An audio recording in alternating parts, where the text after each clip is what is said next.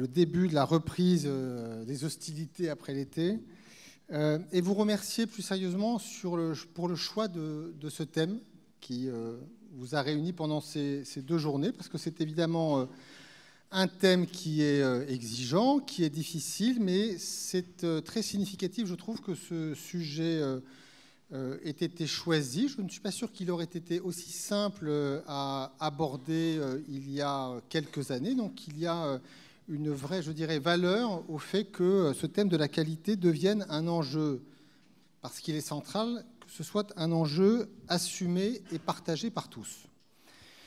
Alors comme ce, ce, temps de ce vendredi après-midi intervient après bien d'autres tables rondes. Je ne vais évidemment pas être long sur ce que recouvre euh, cette notion euh, de non-qualité. Euh, beaucoup de tables rondes l'ont évidemment abordé. Je me permets, moi, de vous renvoyer au rapport chargé produit, qui est le rapport que l'assurance maladie élabore et publie chaque année au début de l'été. Il est en ligne sur le site de l'assurance maladie. Il traite évidemment, j'y reviendrai, chaque année de sujets de pertinence, mais il propose cette année, dans ce rapport, une dizaine de pages qui essayent de faire un point sur la définition de cette notion de, qualité, qui est une notion évidemment euh, large, qui comprend, euh, parce que c'est un, élément euh, ou un sous-élément identifié depuis longtemps, le sujet de la sécurité des soins, évidemment, mais qui s'élargit à cette notion de la pertinence que l'on peut décliner sous ces trois dimensions. La dimension classique, sur laquelle l'assurance maladie est très souvent amené à interpeller, qui est euh, quelque part la surmédicalisation dans toutes ses euh, acceptions, euh,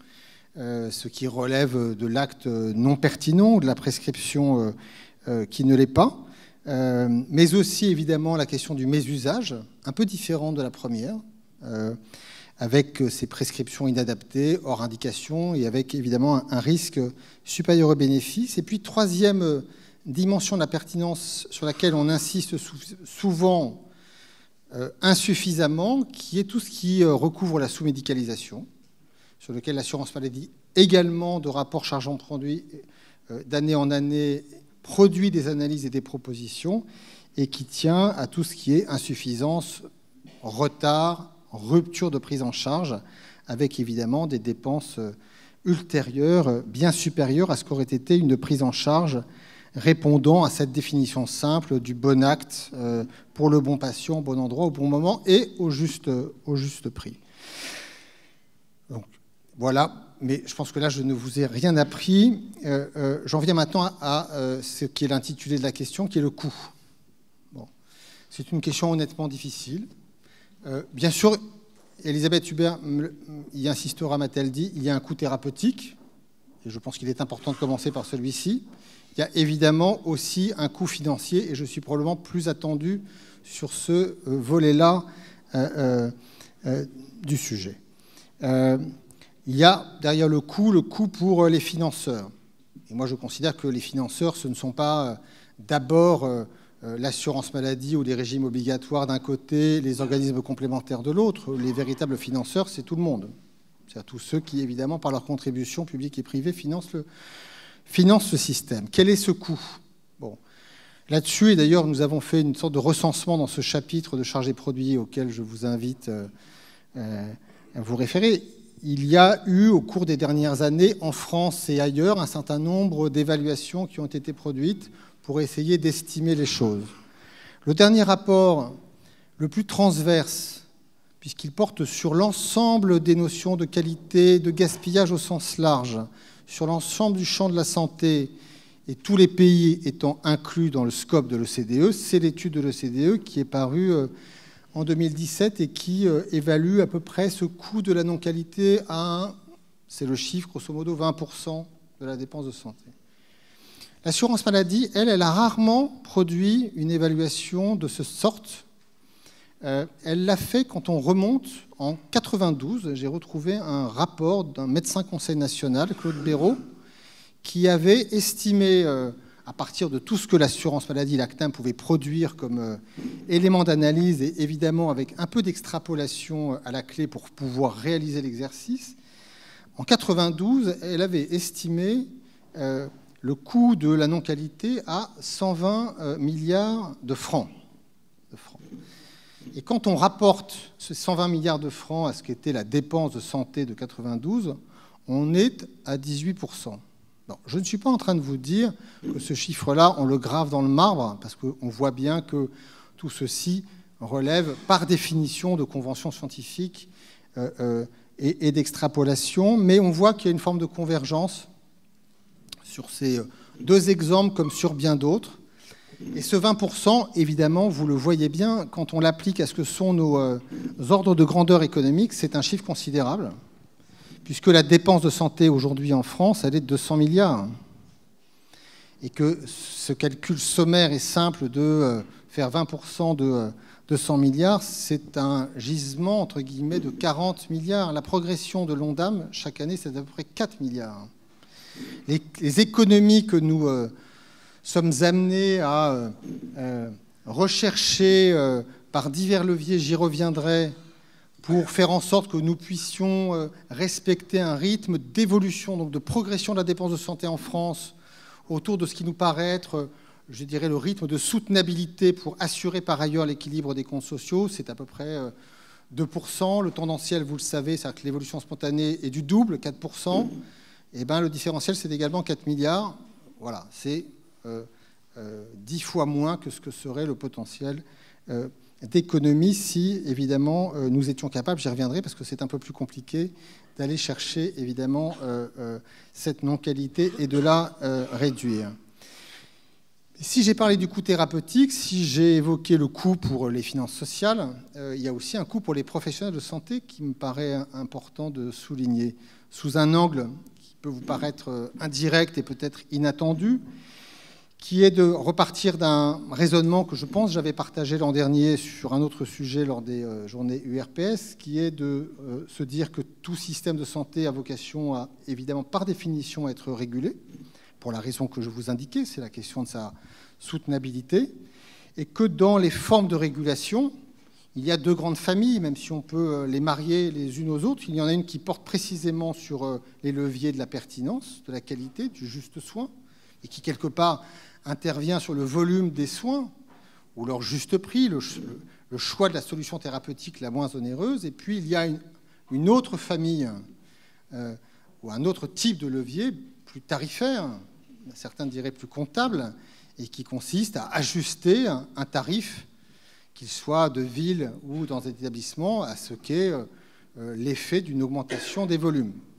Et plus, je dirais, les volumes augmentent, moins on est capable d'en maîtriser l'évolution, euh, parce que précisément, on n'est pas assez efficace dans euh, tout ce qui permet de valoriser, de favoriser la qualité des prises en charge, eh bien, plus ce levier tarifaire prend de l'importance et il n'est pas sans conséquence, je crois, sur les conditions d'exercice euh, euh, des professionnels, qu'ils exercent dans les établissements ou euh, en ville. Et je pense qu'il y a donc un intérêt commun, j'y reviendrai parce que c'est une idée importante, de pouvoir ensemble progresser dans un rééquilibrage, je dirais, entre ces deux grands leviers et de faire que nous puissions être plus efficaces collectivement euh, dans la mobilisation euh, euh, d'actions autour de la pertinence et de la qualité. En tout cas, l'assurance maladie, elle, elle porte et de longue date cette conviction parce qu'elle essaye, par ses différents compétences et moyens d'action, d'agir dans ce sens. Nous ne sommes pas toujours crédités de cela. Je pense que nous en avons donné récemment, entre guillemets, un élément de preuve dans un protocole qui a d'ailleurs occupé un certain nombre d'interlocuteurs euh, qui sont ici dans cette salle euh, avec les radiologues, qui est un, protocole de régulation qui, dans ses versions antérieures, était construit sur une logique de baisse tarifaire, et qui, dans le protocole que nous avons construit avec euh, à la fois la Fédération nationale et les, les syndicats professionnels, enfin représentant les syndicats, les médecins libéraux pardon, concernés, a pu trouver dans cette version 2018-2020 euh, un autre équilibre avec euh, euh, à la fois des actions de pertinence, et puis, pour une part majoritaire d'ailleurs, et puis des actions portant sur l'ajustement des tarifs. Alors, je, conclue, parce m'a. L'idée quand même est d'essayer d'aller, ne pas être trop long, sur Un dernier point sur la, question évidemment qui est la plus difficile, qui est de comment, euh, quel levier, quelle voie d'action pour essayer d'être globalement euh, plus efficace, puis qu'il ne suffit pas de, faire ce constat, d'appeler à une forme, je dirais, euh, de mobilisation de tous autour de cet enjeu qui est, je crois, partagé. La question, c'est de savoir comment nous pouvons fonctionner et par quel levier atteindre des résultats plus importants qu'aujourd'hui. D'abord, je pense qu'il y a un sujet de méthode collective, de travail collectif. Euh, il y a des euh, institutions euh, comme la Haute Autorité de Santé, bien plus modestement l'assurance maladie, dont c'est la, la, mission même que d'établir des recommandations, et elle le fait. Après, je pense que nous sommes et nous devons, comme c'est évidemment déjà le cas, mais je pense que nous devons aller plus fortement et plus rapidement dans ce sens, il y a une nécessité d'associer davantage les conseils nationaux professionnels à ces travaux euh, euh, dans des euh, modalités de travail qui ont commencé à se mettre en place, doivent, à mon sens, être approfondies, accélérées pour pouvoir, je dirais, être plus rapidement efficaces, comme je l'indiquais. Nous avons pris, dans le cadre de la stratégie de transformation du système de santé, des initiatives depuis quelques mois. Je crois elles vont, je pense, s'accélérer et s'étendre à d'autres CNP que euh, ceux qui ont été mobilisés au cours des derniers mois, je pense aux rhumatologues et aux cardiologues. Euh, quatre leviers complémentaires me paraissent devoir être mobilisés davantage. Un, c'est l'accès à l'information, sous un double regard. D'une part, l'accès aux recommandations, et deuxièmement, l'accès aux données de pratique individuelles. Sur l'accès aux recommandations, aujourd'hui, pratique quotidienne à pouvoir accéder à ce qu'est une recommandation de bonne pratique sur un cas clinique qu'il traite, n'a pas à sa disposition, dans son poste, euh, cette information directement disponible. Il doit chercher, parfois sur Internet et sur des sites euh, qui sont ce qu'ils sont. Je pense que c'est notre responsabilité, avec les CNP, avec le Collège de médecine générale, que de pouvoir amener cette information et la rendre disponible. Ce que je vous dis là peut paraître une idée abstraite, c'est un projet très concret puisque nous sommes en train d'y travailler avec le CMG, avec la Haute Autorité de Santé, l'assurance maladie étant amenée à intervenir, y compris financièrement, pour pouvoir euh, créer ce service, le déployer dans les prochains temps. C'est un protocole, un partenariat que nous sommes en train de nouer avec le CMG euh, euh, et qui sera, j'espère, en cours de développement rapidement. Deuxième élément, les médecins nous demandent et nous sommes parfois insuffisants dans notre capacité à y répondre, de pouvoir accéder à des données permettant de situer leurs pratiques par rapport à leurs confrères. C'est une demande récurrente. Nous sommes, je crois, insuffisamment agiles et réactifs. Je pense que c'est un objectif euh, pour l'assurance maladie que de répondre à cette demande. Deuxième levier sur lequel je vais euh, me limiter à, tracer deux perspectives qui sont, je crois, et simplement de les rappeler parce qu'elles sont bien connues de tous, c'est l'organisation des soins, aussi bien avec un travail que la Direction générale de l'offre de santé, je parle devant Cécile Courrèges ici présente, mène sur les autorisations. Et je crois qu'il y a un vrai chantier pour pouvoir reconsidérer les autorisations et les seuils d'activité qui ne sont, pas sans lien avec euh, ces questions de qualité et de sécurité des soins. Je vous renvoie dans le dernier chargé produit d'y insister sur une analyse que nous avons faite sur le cancer du sein et sur le cancer de l'ovaire, en analysant assez finement comment se répartissaient ces, ces opérations entre tous les établissements très nombreux qui les pratiquent, et avec des différences de survie qui ne sont pas les mêmes selon qu'on est opéré dans un établissement ou un service pardon, qui est autour de 30 opérations par an ou 250. Donc je pense que ce sujet doit être davantage pris et assumé dans notre pays, où les seuils sont souvent par rapport à nos voisins très inférieurs à ce que l'on trouve. Sur le cancer du sein, le seuil que l'on trouve autour de nous, il est entre 100 et 150. Deuxième élément de qualité, c'est l'organisation des soins de ville. Et là, on pourrait y passer des heures. C'était d'ailleurs le sujet euh, de l'année dernière. Je pense qu'il y a, et je le crois plus que jamais, un un énorme enjeu dans la structuration des soins de ville euh, et pour euh, réduire un exercice qui reste aujourd'hui euh, trop isolé, atomisé et insuffisamment pluriprofessionnel. troisième levier important, celui de la formation initiale. Je pense que les sujets de qualité et de pertinence ne sont pas suffisamment présents dans la formation initiale des étudiants en médecine. Deuxième élément, le DPC.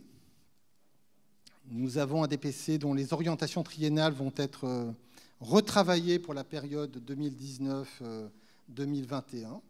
Euh, je ne parle pas des orientations propres aux médecins, mais de manière générale, je pense que nous avons encore trop de priorités dans le DPC. Je pense que nous avons vocation à être plus sélectifs et mieux prioriser les enjeux du DPC sur ce que sont de vrais enjeux d'amélioration de la qualité des pratiques pour que le DPC soit véritablement au service de cet enjeu-là.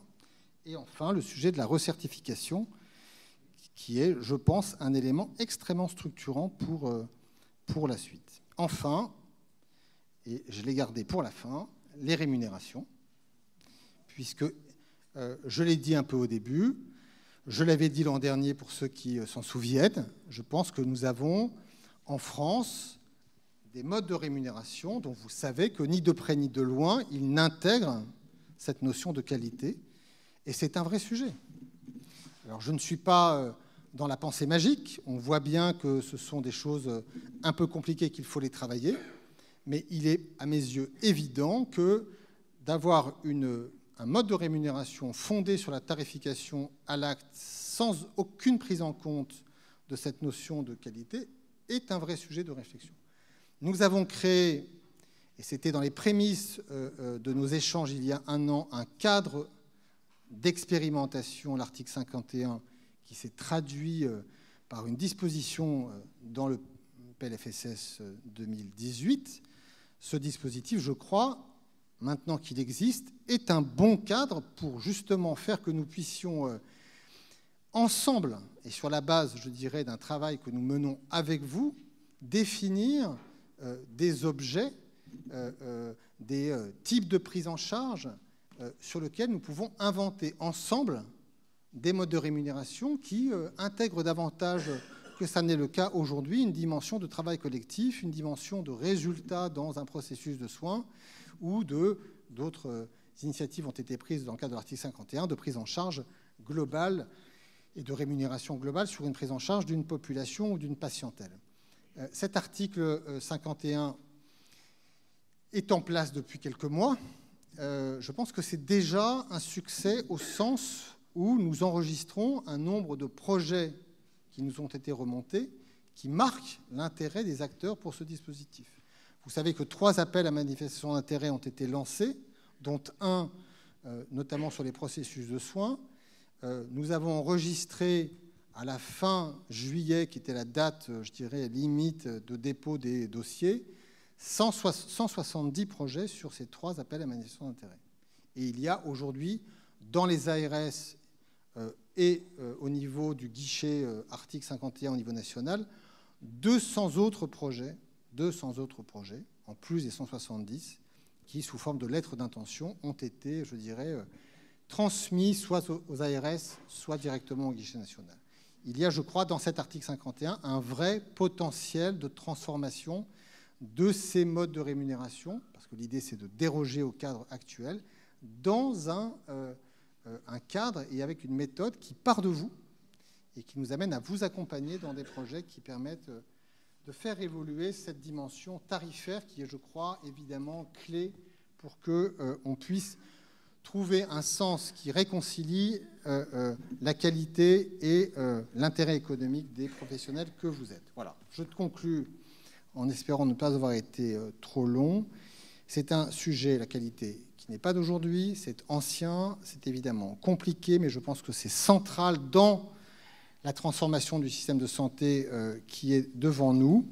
C'est évidemment un sujet de cadre d'action, d'outils, de méthodes, ou d'éléments de rémunération. C'est aussi, je crois, un sujet, euh, je dirais, d'état d'esprit et de culture, euh, de posture, et je pense que les choses ont incroyablement progressé au cours des derniers temps. Je le dis comme je le pense.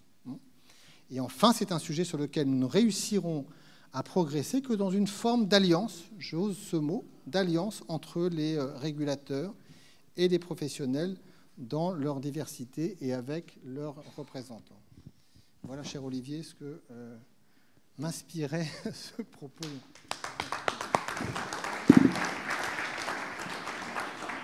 Merci Nicolas. Je pense que c'était extrêmement important de t'entendre parler de cette façon.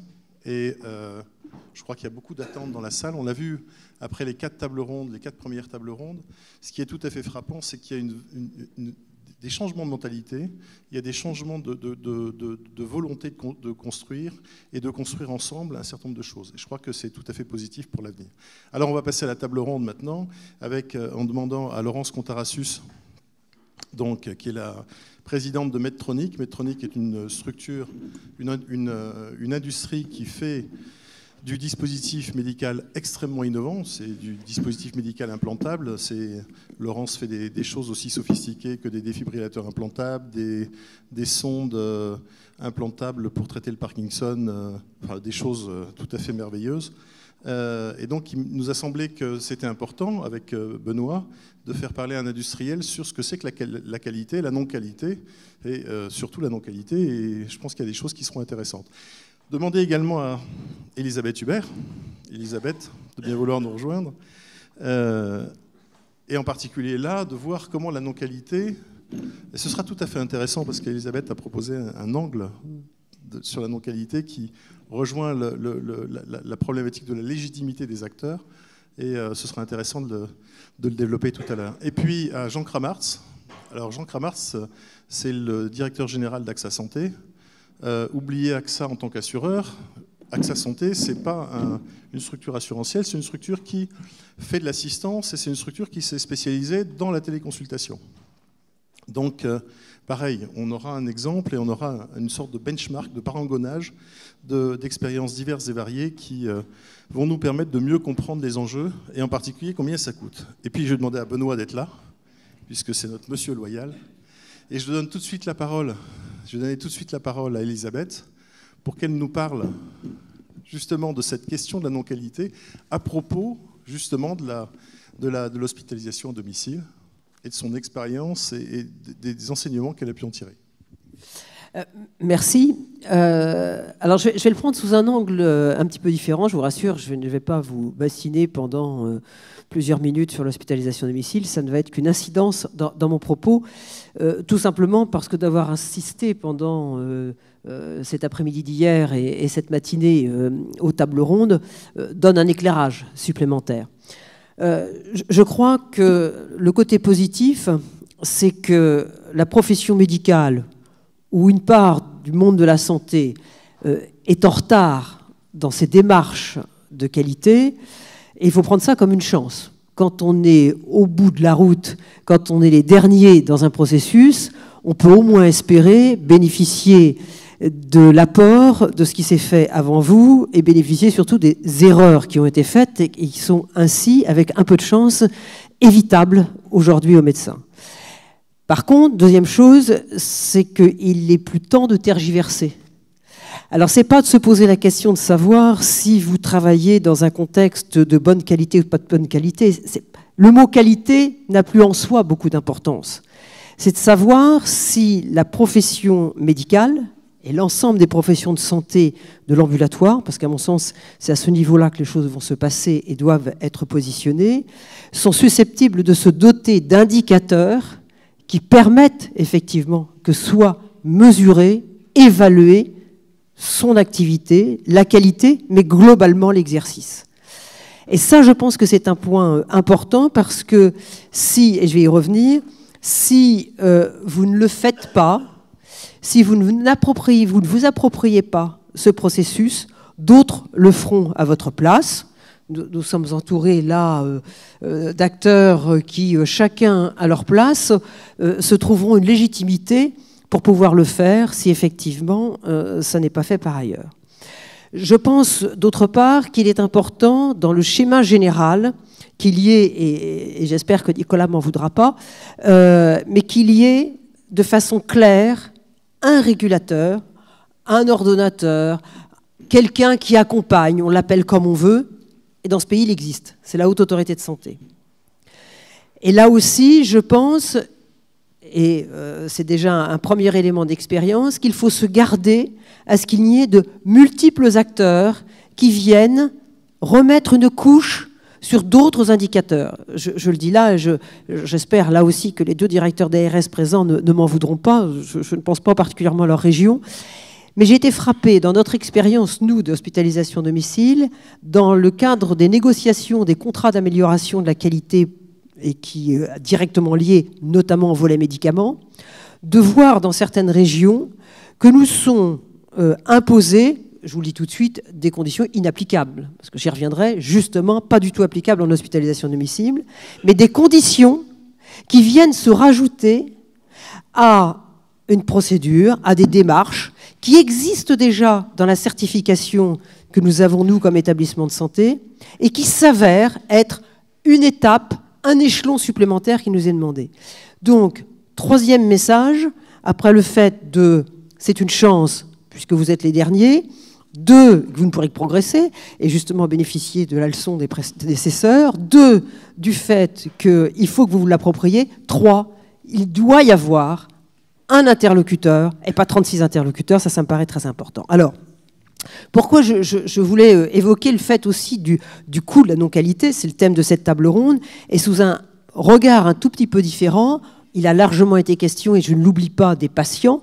Donc je regarde d'oublier les patients, mais ce n'est pas cet angle-là sur lequel je veux m'apesantir, pas plus que celui sur le coût sociétal ou celui euh, du coût financier, mais tout simplement, c'est parce que je pense que si le monde de la santé de l'ambulatoire, et notamment les médecins, ne s'approprie pas cette démarche, c'est votre liberté, c'est la liberté des médecins qui sera en cause. Et même dans un certain nombre de cas, dans l'explosion qui est celle des nouvelles technologies, euh, des systèmes d'information, des algorithmes, de l'intelligence artificielle qui sont en train d'émerger, il se trouvera des interlocuteurs qui trouveront que finalement, il peut y avoir des substitutifs à, aux médecins et que quelque part, payer et les études et l'exercice de médecin qui ne se plie pas dans un certain nombre de règles, qu'on ne peut pas euh, évaluer, dont on n'est pas persuadé qu'il soit dans un contexte de bonne qualité, peut conduire, j'en suis d'accord, je suis certainement excessive, euh, il y a un côté euh, monde effrayant que, je dépeins, mais je pense sincèrement que le coût de la non-qualité pour les médecins, c'est le fait même de leur exercice. Et ça, je pense que c'est un élément important et que c'est pour ça que on peut être en retard, mais il ne faut pas tergiverser euh, beaucoup plus longtemps. Alors, si effectivement, euh, je, trouve intéressant de, donner un éclairage sur, euh, sur mon expérience, qui est celle de, de l'hospitalisation à domicile, c'est que moi, quand je, je, plongé de façon très opérationnelle il y a une dizaine d'années dans ce secteur, on était au début de l'application des démarches qualité et des certifications pour les établissements d'hospitalisation à domicile. Et très sincèrement, j'étais comme tout le monde, c'est-à-dire que j'ai trouvé que c'était une usine à gaz effrayante ce qui est quand même pas complètement faux. Mais euh, au fur et à mesure, alors c'est peut-être, vous allez me dire aussi, le syndrome de Stockholm, finalement, euh, on, devient euh, soi-même adepte de ce dont on est otage. Je n'écarte pas cette possibilité-là. Mais j'en ai vu au fil du temps l'intérêt. Et l'intérêt, vous le comprendrez aisément, il rejoint ce que je viens de dire par rapport à la profession médicale. C'est que pour nous, qui sommes un système un peu bâtard, euh, statut d'établissement de santé, mais travaillons en ambulatoire. Pas simple, pas facile de trouver une place. Et cette place, finalement, si on veut la trouver, on est obligé de donner des gages supplémentaires en termes de qualité de sécurité des soins. Et finalement, euh, au fil du temps, même si c'est un peu difficile parce que il n'y a pas toujours une très bonne adaptation, même si la présidente de la commission de la certification, Anne-Marie Armenteras, a euh, beaucoup cette volonté d'être beaucoup plus dans l'opérationnalité, euh, le réel, et, euh, d'adapter aux, structures, et, c'est en train de, devenir le cas. mais nous en avons vu tout l'intérêt pour acquérir de la crédibilité. C'est-à-dire, en clair, j'utilise le mot, c'est en train de devenir un outil marketing pour nous. Donc euh, on peut, d'un inconvénient, et il faut euh, se dire et passer du stade de l'inconvénient au stade euh, de, l'avantage, et bien le voir comme étant un outil de crédibilité. Et on a vu ce matin avec la table ronde patients et usagers qu'il y avait effectivement besoin de donner des gages de confiance.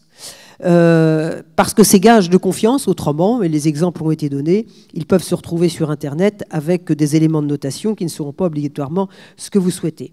J'en ferai aussi un parallèle, c'est que ce matin, il a été question de l'oncologie et il a été euh, évoqué, à juste raison, la façon dont, quelque part, les médecins étaient un peu court-circuités dans le dispositif. Et avouons que c'est assez paradoxal, c'est quand effectivement tout ce process en termes de cancérologie avec les plans cancer se sont mis en place, avec une beaucoup plus grande proximité des oncologues, qu'effectivement aujourd'hui on voit trop souvent court-circuiter les médecins généralistes. Donc on voit bien qu'il est impératif que dans toute la chaîne euh, soit présent et se soient appropriés les, professionnels. Alors, moi je pense que euh, si on repart sur, les exemples de ce que l'on a pu nous faire euh, et de ce qui est une démarche à peu près normale, on est dans une démarche qualité qui justifie que soient mis en place des indicateurs. Et il faut que ce soit vous qui y travaillez. De la même façon, euh, les évaluations qui devront être faites, à l'instar des certifications que nous vivons dans les établissements de santé, vous devez être des experts. C'est-à-dire que des experts doivent venir de vos rangs. Euh, il n'y a rien d'impossible en cela. On le voit sur les établissements de santé. Je connais, je sais les problèmes de temps, les problèmes de disponibilité, etc. que cela engendre. Mais c'est aussi un élément intéressant et c'est quelque part exactement la même chose quand lorsque vous êtes maître de stage et que, étant maître de stage, vous enseignez mais l'étudiant que vous accueillez est aussi quelque part votre examinateur. Donc on est bien dans une démarche qu'il faut effectivement complètement intégrer. Et puis, il y a des procédures, des processus à mettre en place. J'entendais hier après-midi évoquer les retours d'expérience, euh, les événements indésirables. Euh, on a un principe de base, et moi, dans mes structures, j'ai signé euh, pour mes collaborateurs une charte, une charte de la non-sanction en cas de dénonciation d'événements indésirables. Et nous avons des centaines d'événements indésirables qui nous sont, euh, qui nous sont dénoncés régulièrement euh, par tous les professionnels, quel que soit leur rôle, de l'assistante sociale, c'est pas simplement le responsable, le médecin, c'est la soignante, c'est l'infirmier, c'est la secrétaire, qui effectivement remonte des événements indésirables. Et donc ça, et on le fait aussi de la part des patients. Et il le faut. Euh, on essaie de le faire aussi de la part des libéraux qui interviennent. Et de plus en plus, ils le font. Mais par contre, en corollaire, c'est non-dénonciation. dénonciation, mais pas de sanction. Et ce qui est d'ailleurs assez drôle, c'est qu'on demande de graduer les événements indésirables, et ce qui est assez drôle, c'est que je constate que ceux qui font la dénonciation, souvent, les mesurent comme étant plus graves qu'ils ne le sont en réalité, ce qui est quand même quelque part assez rassurant. Donc il n'y a vraiment pas de dissimulation. Et ça, je crois que c'est un élément qui est un élément capital, et il faut le mettre en place de façon plus simple, sur un certain nombre déjà de quelques points. Et derrière, ce qui est intéressant, c'est le retour d'expérience.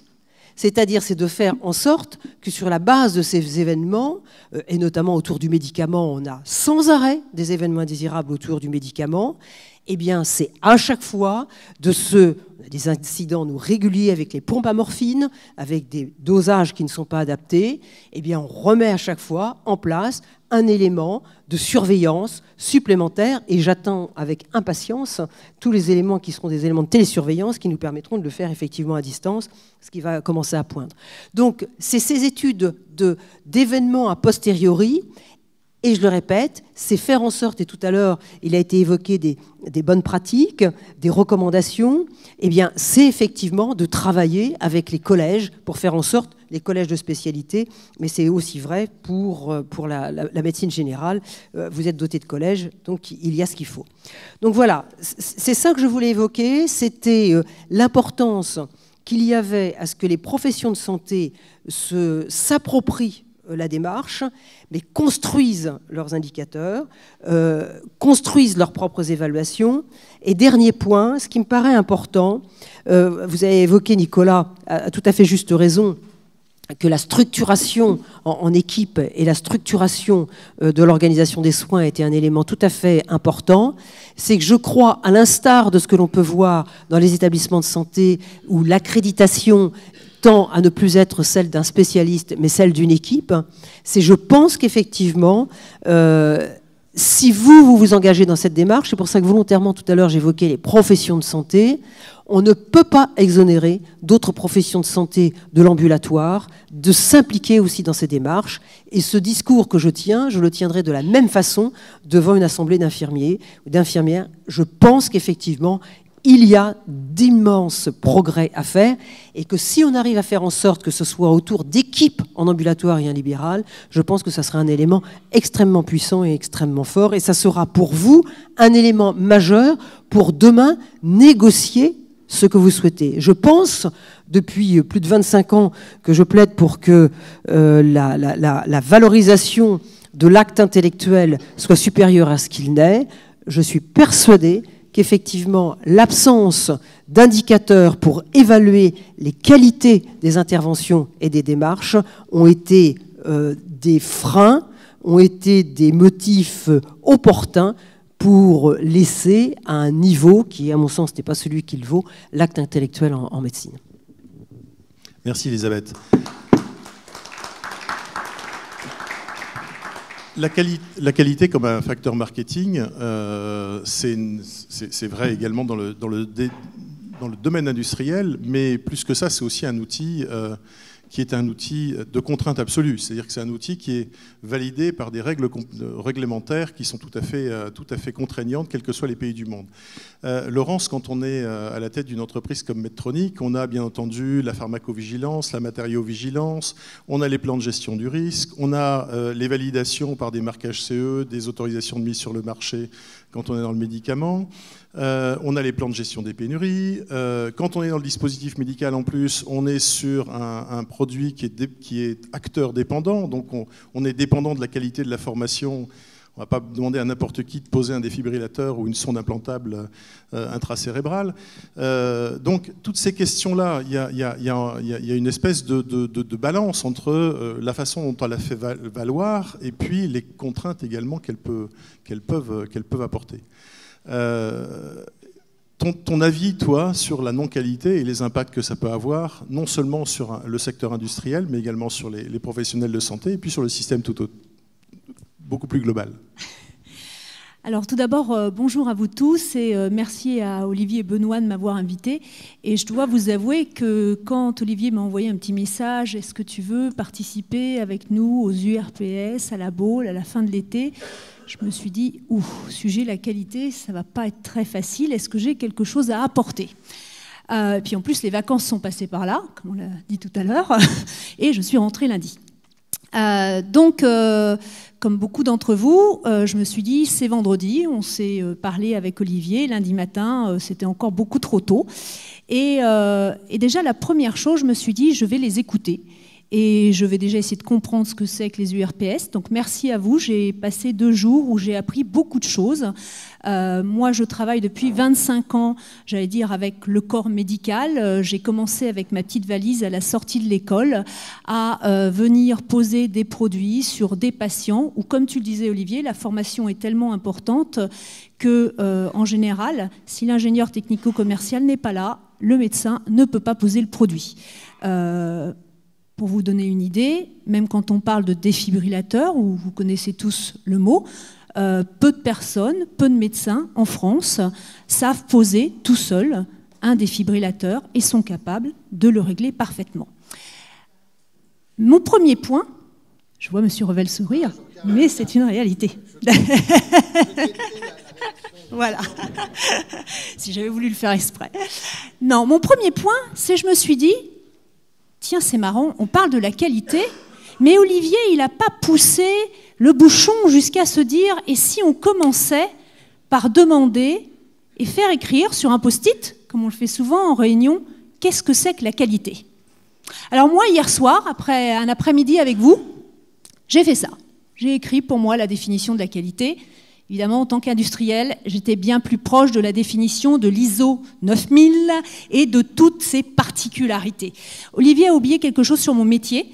En tant que, alors on pourrait dire président, je vous dirai après pourquoi je me définis comme une chef d'orchestre et pas comme un président. C'est le risque d'aller en prison pour l'ensemble des points quasiment qu'il a évoqués, pour ce que ferait un de mes collaborateurs, et j'en ai 1350.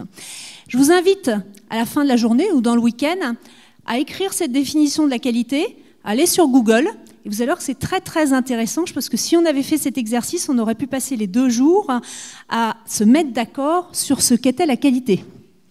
Et ça explique aussi pourquoi, dans les discussions qui étaient super intéressantes, bah, des fois ça partait un petit peu quand même dans tous les sens. On en a parlé à la pause, parce qu'on a chacun son point de vue en fonction de sa formation, en fonction de son métier, en, fonction de son vécu. Euh, moi, je suis particulièrement sensible. J'aime dire que, évidemment, je suis la patronne de Medtronic France. Je suis surtout une citoyenne de la santé qui euh, avoue qu'elle a envie de parler avec l'ensemble des administrations et de leur dire vous pouvez faire confiance aux industriels, on peut travailler ensemble. On n'a peut-être pas toujours été très bon, mais en tout cas, on a des choses à apprendre et vous pouvez nous faire confiance pour travailler avec vous pour essayer d'établir un système de santé meilleur. Et puis surtout, je suis une maman.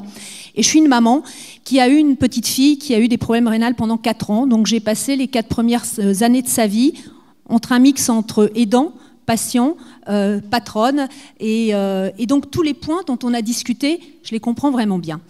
Et en fait, la définition que je me suis donnée à la qualité hier soir, c'est le bon sens.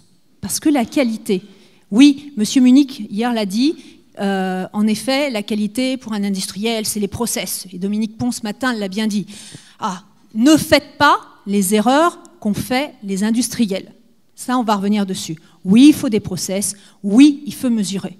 Mais la qualité, c'est d'abord le bon sens. Moi, j'ai envie de parler d'une expérience qui m'est arrivée, j'étais très très jeune. Euh, j'ai commencé sur le terrain avec ma petite valise, j'avais 23 ans. J'ai fait une formation 100% euh, aux États-Unis. Je suis arrivée sur le terrain, je ne savais pas parler avec certains d'entre vous. Hein. Il y en a certains qui me connaissent. Euh, je les regarde. je ne savais pas parler en français, je connaissais tous les termes en anglais. Quelques mois après, c'était pas chez Medtronic, ça fait 15 ans que je suis chez Medtronic.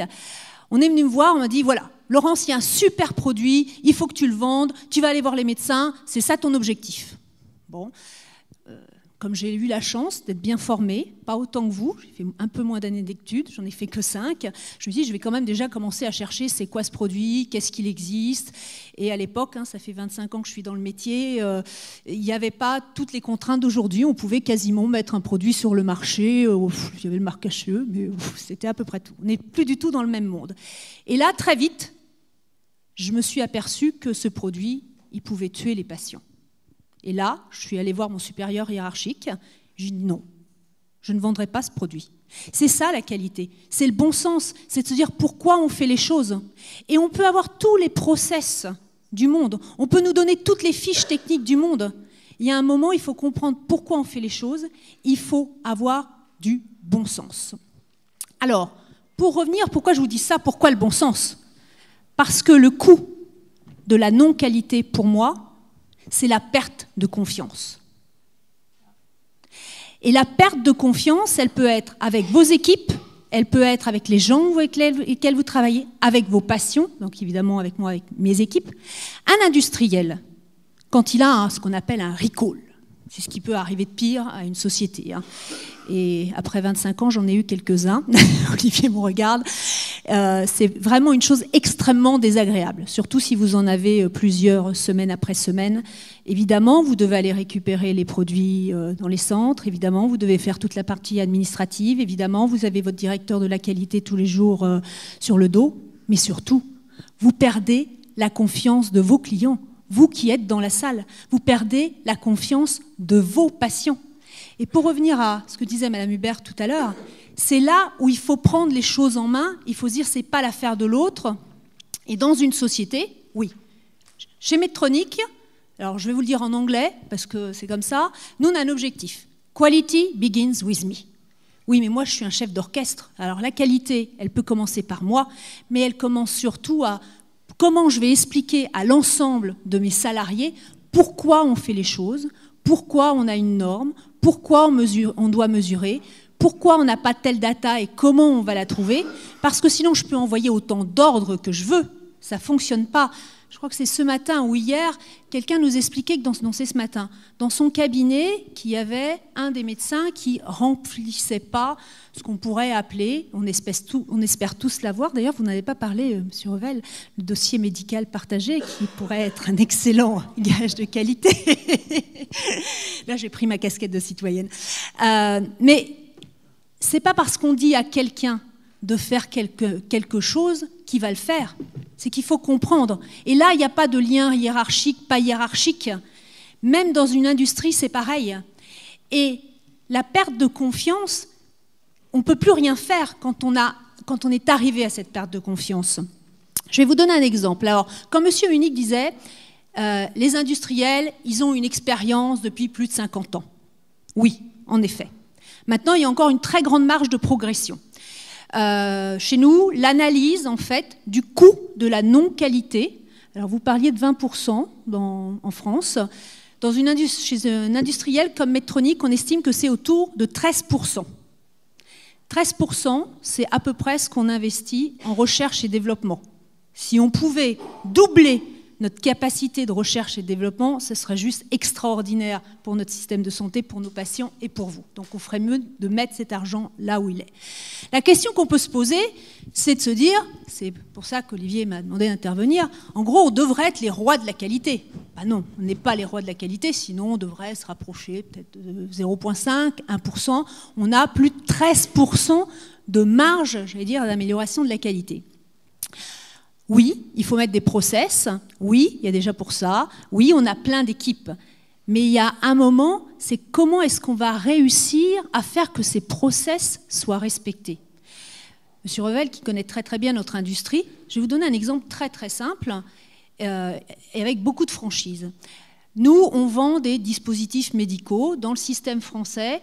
Beaucoup, donc on va prendre un produit que vous connaissez tous, le pacemaker, ça, ça je suis sûre, ça vous parle à tous. Euh, on les met en dépôt dans les centres.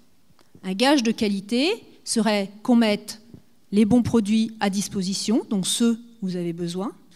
Le deuxième, qu'on contrôle très régulièrement ou que les centres les contrôlent. Là, on n'y est pas. Et pire, qu'on s'assure qu'il n'y ait pas de produits périmés dans les hôpitaux. Ce n'est pas le cas. Ce n'est pas le cas. Et dans l'ensemble des industries, nous avons toujours ce qu'on pourrait appeler la non-qualité par définition. C'est un patient implanté d'un produit qui est périmé. Ça, moi, j'ai le risque d'aller en prison. Et je peux vous dire que des process, j'en ai, mais alors des feuilles entières. Et on n'y arrive toujours pas. Pourquoi? Parce qu'il faut comprendre pourquoi on fait les choses. Et c'est là où c'est une opportunité, c'est une chance, comme le disait Madame Hubert. Si on comprend pourquoi, on doit être acteur de cette qualité. Et dans les usines, ce qu'on fait maintenant, eh bien en fait, on essaye de faire moins de process. Et quand par exemple, quelque chose qui doit être très simple, on se dit comment est-ce qu'on veut optimiser une chaîne de production? Eh bien, on commence plus maintenant par établir des dizaines de feuilles de process. On met l'ensemble des employés ensemble, on les fait réfléchir, on leur demande comment ils ont envie de travailler. Est-ce qu'ils ont plus envie et ça, ça se passe dans nos usines en France. Est-ce qu'ils ont plus envie de changer, par exemple, de poste régulièrement, toutes les quatre heures? On échange avec eux, c'est toutes les discussions que vous avez eues pendant toutes les tables rondes. Et on revient au point qui est que la qualité, ça passe forcément par la co-construction. Ce n'est pas possible autrement. Donc ça, ça serait mon premier message d'industriel. Il faut avoir la confiance et ça passe par la co-construction. La co-construction, elle est entre vos mains. Le gage de qualité, la qualité pour l'avenir, et ça passe aussi par les outils modernes. Ça passe par l'e-santé. Ça passe par la télésurveillance, téléconsultation, télémédecine. N'attendez pas que M. Revel vous donne l'autorisation de pouvoir le faire et de vous dire combien vous allez être payé. Mon message, c'est prenez ça en main et venez nous voir et on va, les aider, si je puis dire, si vous me permettez. parce que sinon, en effet, on va faire de la non-qualité parce qu'on aura des outils qu'on ne pourra pas utiliser ensemble. Et je sais que ce n'est pas facile. Je sais que c'est pas facile parce que j'ai un mari kiné. Donc je sais ce que ça veut dire que de travailler seul de 7h30 à 9h30 tous les soirs et de refuser des patients. Je sais à quel point c'est compliqué, mais là aussi, la qualité, ça passe par s'organiser pour pouvoir le faire, ce que disait Madame Hubert, et ne pas attendre que les autres vous demandent de le faire, ou pire, de faire quelque chose que vous n'aurez pas compris, dont vous ne saurez pas vous en servir et dont le patient en fait ne comprendra pas en fait pourquoi vous allez lui demander de travailler ou de faire de cette façon ou de celle-ci. Donc pour moi, la qualité, c'est ça. C'est ensemble assurer la confiance et, comme ça, on va pouvoir certainement éviter les erreurs que l'on a fait dans l'industrie, mais prendre aussi le bon. Merci beaucoup, Laurence. Jean, quand on passe d'un métier d'assureur à autre chose, il y a des process à mettre en place, il y a un certain nombre de contraintes qui vont s'afficher, la téléconsultation, ils font discuter avec le CNOM, ils font discuter avec la CNIL, ils font discuter avec la ZIP, ils font discuter avec le politique, ils font discuter avec l'assurance maladie, ils font discuter avec beaucoup de gens. Euh, c'est pas forcément quelque chose qui, euh, qui s'apprend tout de suite, qui se découvre tout de suite. Il y a des projets à mettre en place, il y a des pilotes, il y a et en fin de compte, sur des sujets aussi sensibles, il y a, soit une volonté de dire je passe en force, soit une volonté de dire on va faire les choses très très bien. Euh, L'expérience que vous avez pu développer chez AXA Santé, c'est quoi? C'est euh, tu en tires quoi comme leçon et, euh, quelles sont les pistes en, prospective pour l'avenir? Alors Olivier, comme tu l'as dit, la, téléconsultation, il faut beaucoup en discuter. On a été les, premiers à, lancer ça, donc on a un peu essuyé les plâtres de la discussion, mais une fois qu'on a toutes les autorisations, il faut la faire. Et si on essaie d'appliquer les, euh, règles de la qualité ou les principes sur la qualité qu'on vient d'entendre, qu'est-ce que nous, on a, appris de concret, de, bon sens, qu'on n'imaginait pas, puisque c'était un, métier euh, nouveau? Euh, premier apprentissage, c'est un nouveau métier. C'est-à-dire qu'on peut être un très bon médecin généraliste, on peut être un très bon médecin urgentiste. On a à apprendre quelque chose de nouveau quand on fait de la téléconsultation. Et donc les gens qui feront de la téléconsultation à partir du, 15 septembre ou, plus tard feront un métier nouveau. Euh, quelles que soient euh, leurs compétences professionnelles, ils devront apprendre euh, à écouter, à regarder, à parler d'une manière différente de ce qu'ils font quand ils sont euh, en, face à face. Et c'est pas parce qu'ils ont déjà pris des patients au téléphone qu'ils connaissaient bien pour leur dire oui, faites ci, c'est pas mal ou non, venez me voir, qu'ils ont fait de la téléconsultation. Donc on parle de quelque chose de différent, avec aussi un champ médico-légal différent. Euh, prescrire à distance sans avoir vu le malade, c'est aussi euh, entrer dans une zone euh, de risque professionnel un peu différente. Donc premier enseignement, ça s'apprend. Deuxième enseignement, et c'est pareil que pour la chirurgie du cancer de l'ovaire ou du sein, bah, plus on en fait, meilleur on est. parce que on change, on apprend, on discute, on en parle à des confrères, on en parle à des collègues, on réfléchit. Donc il y a aussi une courbe d'apprentissage on est aujourd'hui meilleur dans nos téléconsultations euh, qu'avant. On a plus de taux de succès. Ce qu'on appelle un taux de succès chez nous, c'est un, patient euh, euh, qui suit la recommandation qui lui est donnée, c'est-à-dire aller voir le médecin ou c'est pas la peine, c'est bon, ça va aller. on a plus de prescriptions, c'est-à-dire que je, précise ça parce que on, est subi, on, subit la même pression des malades qui disent ah bah si j'ai pas d'ordonnance, c'est que c'était pas une vraie consultation. Mais à 25%, on est évidemment très en dessous de, ce qui se passe en cabinet. Et moi, je le vois comme une mesure de la facilité avec laquelle nos médecins évoluent, agissent euh, dans cet environnement. Troisième enseignement, on est loin d'avoir encore tiré tout le parti de ce que la technologie euh, va nous permettre euh, dans le futur. La téléconsultation avec un DMP, ça sera tellement mieux que la téléconsultation euh, dans le vide. Euh, la téléconsultation avec des applications qui vont prédéfinir, aider un peu à définir euh, ce qui se passe chez le malade, ça va venir vite et ça sera très utile. très utile, pas pour la qualité du diagnostic, mais pour dire à l'avance aux malades, perdez pas votre temps avec une téléconsultation. Ce truc-là, si vous ne voyez pas un médecin, euh, il ne se passera rien de bien. Euh, c'est ce que font les Suédois. Les Suédois remboursent aux opérateurs de téléconsultation uniquement les téléconsultations euh, qui ne donnent pas lieu à une visite supplémentaire. Et comment ils arrivent à ce résultat-là? Eh ben, Il y a une application qui est distribuée à tous les Suédois qui dit exactement ça aux gens. Décrivez-moi vos symptômes. Oui, euh, il y a une chance qu'un téléconsultant résolve le problème, ou non, c'est pas la peine. Allez à un centre d'urgence ou aller directement voir un médecin. Ça, je pense que ça va euh, venir et ça augmentera aussi la pertinence du recours euh, à la téléconsultation. Autre point important pour la qualité, c'est la territorialité. la téléconsultation qu'on fait aujourd'hui chez AXA, c'est une téléconsultation de confort, de réassurance pour des gens qui ne peuvent pas euh, consulter leur médecin traitant dans des délais qu'ils jugent raisonnables. Euh, donc il y a des gens, ils se lèvent le matin avec le nez qui les gratte, euh, ils appellent la téléconsultation. et ils disent, bah, il est 7 heures du matin, mon médecin n'est pas ouvert. je pense que la téléconsultation il y a aussi des gens qui appellent pour des bons motifs. Euh, il y a 10% des gens qu'on renvoie aux urgences, par exemple.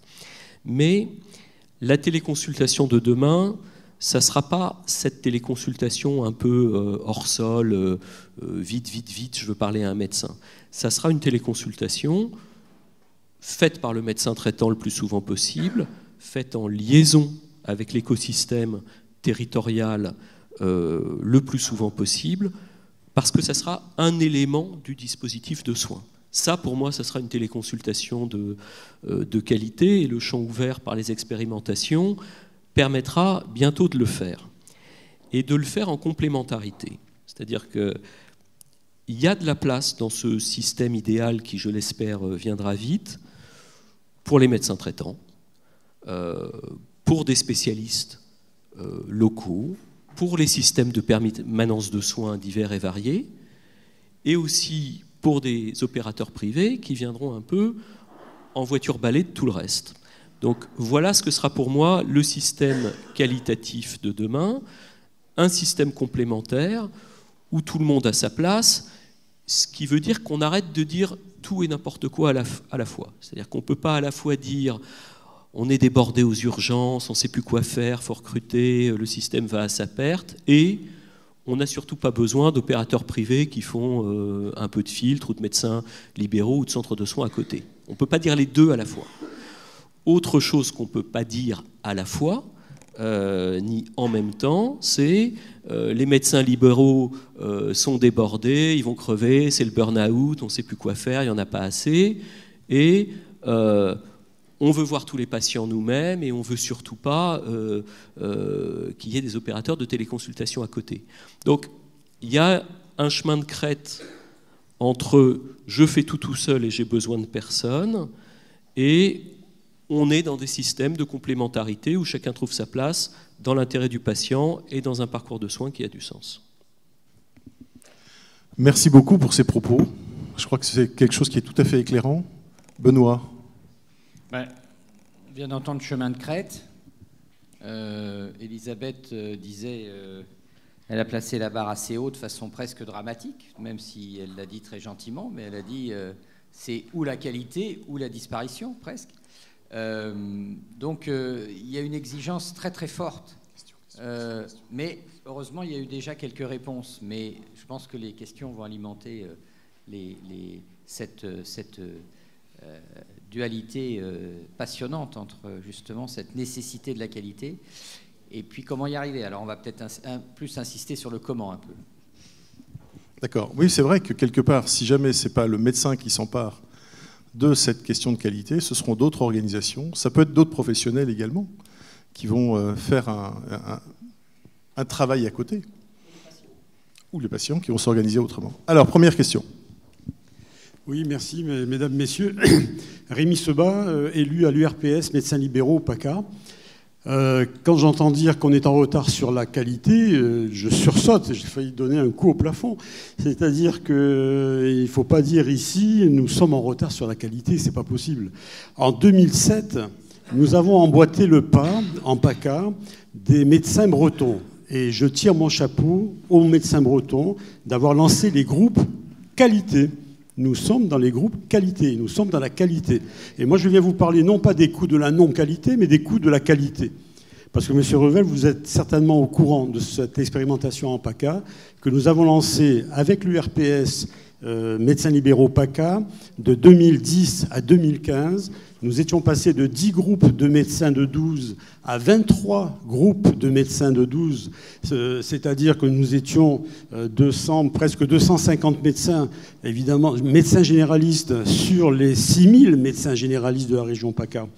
Et nous avons démontré, grâce à un partenariat exemplaire avec la direction régionale du service médical de l'assurance maladie, avec la faculté de médecine et avec l'ARS PACA, puisque M. Coipli est là, il pourra peut-être en témoigner, eh nous avons démontré que non seulement ces groupes qualité, pendant les cinq ans d'expérimentation, ont démontré l'amélioration de la pratique médicale, et je ne dis pas du comportement des médecins, parce que je pense que c'est péjoratif de dire qu'on change le comportement des médecins, mais on, améliore la pratique médicale grâce à l'appropriation des recommandations de bonnes pratiques.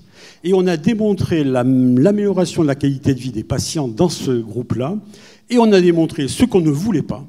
On ne voulait pas démontrer que cette qualité-là, qui a été démontrée, prouvée, eh bien, entraînait une économie des, de, la santé. On l'a démontré à notre... Enfin, moi, je ne dirais rien d'autre, mais je peux vous dire cela sous le, euh, avec l'aval certainement du docteur Sacomano, qui est là, c'est le président euh, de l'URPL, de l'URPS Médecins Libéraux PACA, et de madame Fanny Josancy, avec qui j'avais écrit à l'époque le dossier euh, d'expérimentation de ces groupes qualité, et je répète, c'est des groupes qualité, donc on était bien en avance, et nous avions conscience de l'intérêt de la qualité cette expérimentation, M. Revel, s'est terminée en 2015. Pourquoi? Je ne sais pas. Arrêt des financements.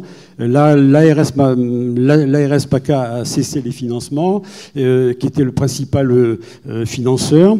Et pourquoi je vous dis ça? C'est que j'ai eu la, surprise, mais alors l'énorme surprise agréable, d'avoir l'appel il y a trois mois du directeur adjoint du service médical l'assurance maladie qui me dit Allô Rémi, euh, je suis en train de lire le rapport euh, de la CNAMS. Je te l'envoie par, euh, par mail. Dis-moi ce que tu en penses. C'est fabuleux. Il faut qu'on reparte. En effet, dans le rapport dont vous êtes le commanditaire. on ne parle pas de PACA, mais de Bretagne et de Normandie. C'est ce que vous allez me dire, non? On, fait, on, fait, on fait effectivement, pardon de vous couper la on fait effectivement un point sur les groupes qualité à partir de deux expériences, mais on a visiblement, on est passé sous votre contrôle à côté de la vôtre. Et on a fait effectivement un focus sur le retour d'expérience des groupes qualité dans deux régions historiques où ils se sont développés. La Bretagne, vous l'avez cité, la Normandie aussi. Et c'est vrai que dans le bilan que nous nous faisons, nous, nous nous permettons, au-delà de saluer la démarche, d'en faire un bilan, y compris dans une évolution des pratiques professionnelles, qui, y compris, peut conduire à des économies euh, en termes de dépenses de santé, ce qui ne me paraît euh, en aucun cas euh, un élément inassumable et déshonorant pour les médecins qui se sont investis là-dedans. Et nous concluons en effet sur le fait que nous devons, à notre sens, relancer les groupes qualité dans les territoires. Ça pose la question du modus operandi, puisque historiquement l'assurance maladie les finançait, mais c'est passé sous une autre enveloppe, euh, celle du FIR euh, et, sous l'égide des agences régionales de santé. Donc c'est une question à laquelle nous devons réfléchir avec le ministère, les ARS, mais aussi les partenaires conventionnels. Euh, parce que je pense qu'il y a là une partie de la réponse à la question que je n'ai pas eu le temps de suffisamment traiter tout à l'heure, de dire comment est-ce que la qualité redescend dans les pratiques professionnelles individuelles chacun est très occupé au quotidien dans son exercice professionnel. Comment on arrive, au-delà d'amener de la formation dans les postes de travail, c'est une chose. Mais ces éléments d'échange confraternel est évidemment très précieux. Et avec une deuxième question, euh, à laquelle je pense les groupes qualité devront aussi euh, amener une réponse euh, si on veut les relancer, c'est comment on arrive à embarquer les professionnels au-delà des 10-15% qui sont quand même souvent les premiers à venir parce que ce sont les plus motivés et ceux dont les pratiques professionnelles sont quand même déjà, je dirais, les plus matures. Comment réussir à associer, amener dans des temps d'échange le soir après le travail tous les autres Merci d'avoir lu le rapport chargé juste, Juste un petit mot. Sachez donc que nous avons 23 groupes qualité en déshérence en PACA et tous les membres de ces groupes qualité en déshérence en redemandent et espèrent pouvoir recommencer. Merci, monsieur euh, j'ai une question là-bas. Euh, je, vais faire la promotion parce que sur les bons produits, j'aime bien faire de la promotion. J'ai parlé de, Corentin et de ce qu'il faisait. Euh, Nicolas le sait. Le rapport chargé produit de cette année c'est un document, mais de base à lire. Il faut que vous le consultiez. D'abord, il est remarquablement fait. Deuxièmement, il est super intéressant. Non, je suis désolé. Le dernier était remarquable également, Olivier. Non, mais je suis désolé. Le cru de cette année est tout à fait exceptionnel parce qu'il y a vraiment des analyses sur un certain nombre de critères qui sont. Euh, et, n'oubliez pas une chose au cas où, c'est que ça sert quand même de base à la définition d'un projet qui s'appelle le projet de loi de financement de la sécurité sociale et que, euh, d'une certaine manière, c'est une loi qui. Euh, touche les pratiques quotidiennes à court, moyen ou long terme. Donc renseignez-vous, ça fait partie vraiment des éléments de, de connaissances et d'informations que vous devez avoir en tant que président du RPS vraiment à, l'esprit. Bonjour, Thierry Labarthe, URPS Bretagne et président de GECOLIB, le groupement d'exercices coordonnés libéraux. Donc je voulais remercier euh, la région PACA parce qu'effectivement, euh, euh, il y a d'abord un poster à Pimet qui est là parce qu'en Bretagne, 20% des médecins généralistes sont toujours actuellement dans des groupes qualité, avec un ordre d'idée à peu près de 500 000 euros de dépenses engagées, qu'elles viennent du FIR ou de l'assurance maladie ou, ou de l'ancienne UNOCAM. C'était 10 millions de dépenses non engagées, comme on le dit. Et c'est vrai que vu qu'on fait quand même le lien avec ce qu'on a dit ce matin et hier sur la communication, le fait de se parler, de ne pas avoir de sanctions, il y a aussi tout un travail effectivement d'amélioration, prescription des antibiotiques, amélioration de la prise en charge des patients psychiatriques.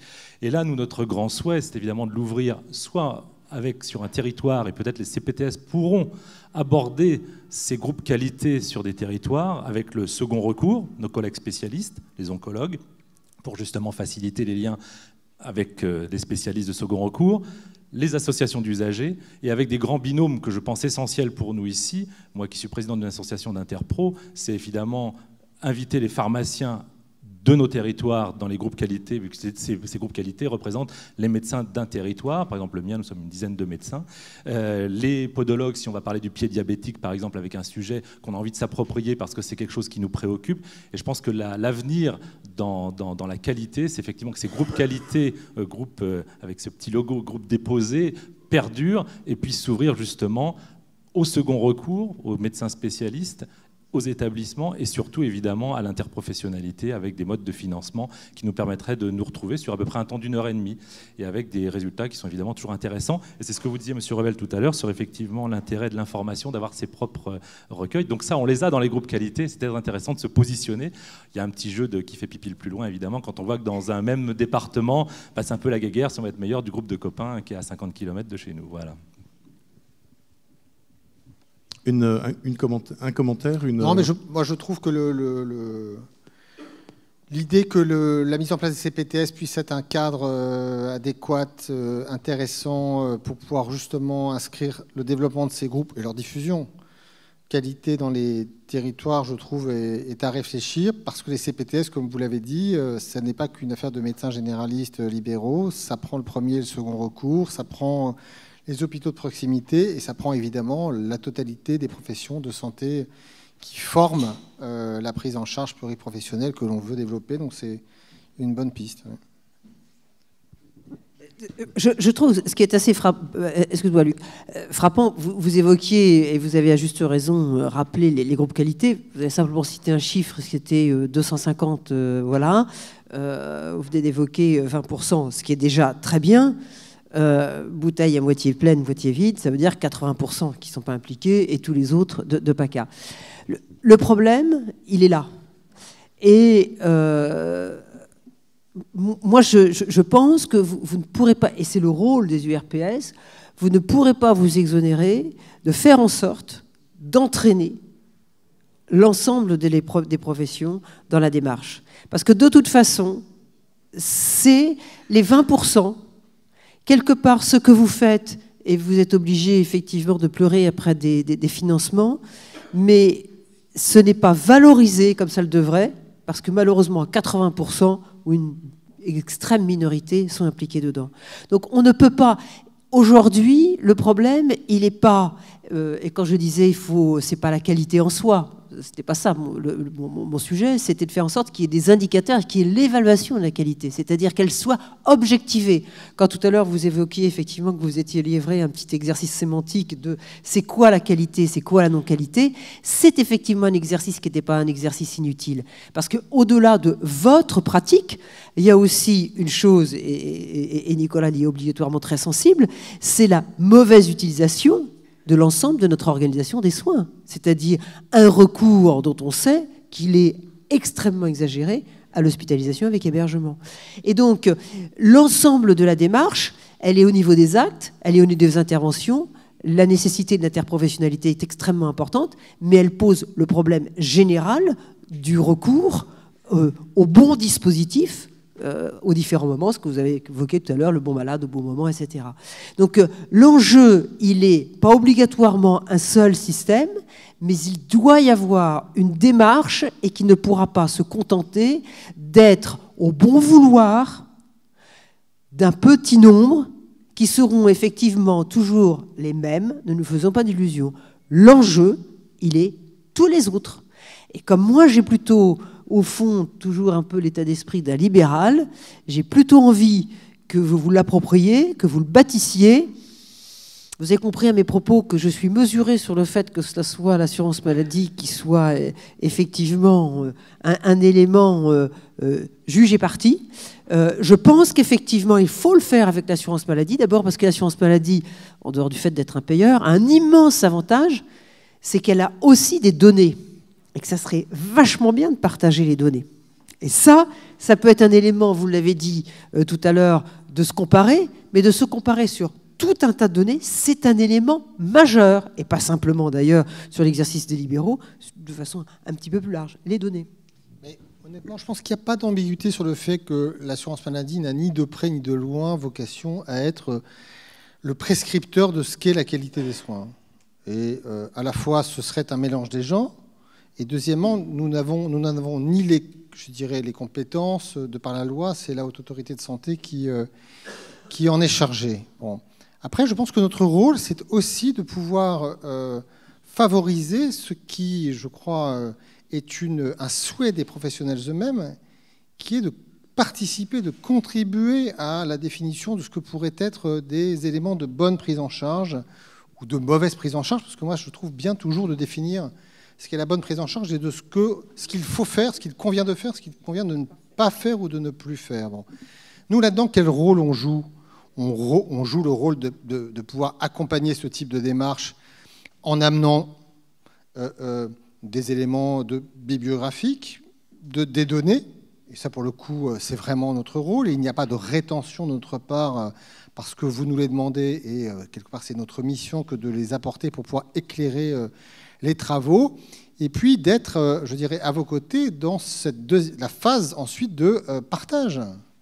Comment fait-on que euh, les travaux de la haute autorité de santé, ou parfois quand il n'existe pas encore ce qu'un CNP va pouvoir, ou des CNP vont pouvoir travailler ensemble, on puisse le faire partager à chacun des professionnels concernés. Et là-dessus, nous, nous ne pensons pas que c'est à nous de prendre la main, nous le faisons, nous avons des visites de délégués de l'assurance maladie, des échanges confraternels. Nous savons que nous sommes beaucoup plus forts et beaucoup plus convaincants quand nous nous situons dans un partenariat euh, où euh, euh, une société savante porte avec nous et diffuse, y compris par ses propres moyens, un certain nombre de recommandations de bonnes pratiques qu'elle a arrêtées, élaborées, et pas seulement quand ça passe par le truchement de l'assurance maladie, qui forcément est reçue différemment que lorsque elle est, euh, je dirais, euh, euh, portée avec, avec vos pères ou vos, vos confrères. Donc je pense qu'on est très attaché justement à être dans ce que je, je qualifiais d'un mot que j'assume, hein, d'une forme d'alliance, mais en, ne confondant pas nos rôles, mais en ne mésestimant pas aussi ce que nous pouvons apporter au processus.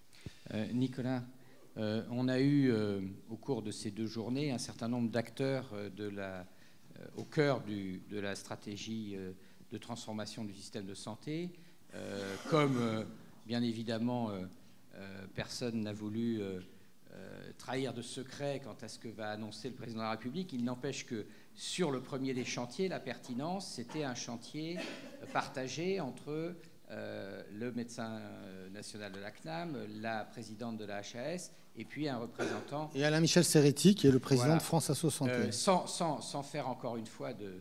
ne pas nous faire de, de, scoop maintenant, mais sur, donc, si on a bien compris, une dizaine de pathologies ou, de, ou, euh, de, de, maladies euh, récurrentes, est-ce qu'on va arriver à avoir vraiment euh, ce référentiel, ces référentiels qui vont pouvoir être finalement le guide de l'ensemble des professionnels de santé de façon quasiment incontestable. Est-ce qu'on va y arriver?